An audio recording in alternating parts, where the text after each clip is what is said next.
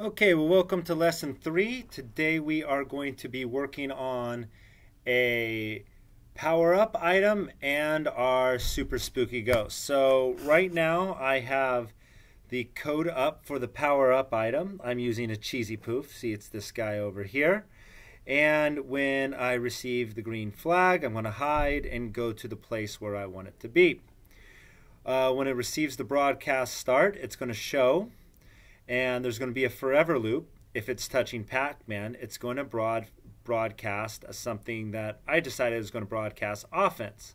So this way we can tell the ghost to switch costumes later on and be able to beat Ethan. Then we're going to hide. We're going to make a sound. So I made a happy sound. And then we are going to change the speed uh, from 4 to 6.5. We're going to wait 6 seconds. And then we're going to go back to our regular speed. Let's test it out. I hit start. Gonna go up. Yay! Notice how I'm going faster after I got my happy sound. Isn't that awesome? And then I went back to normal. So take a look at that and uh, write your code for your power up item.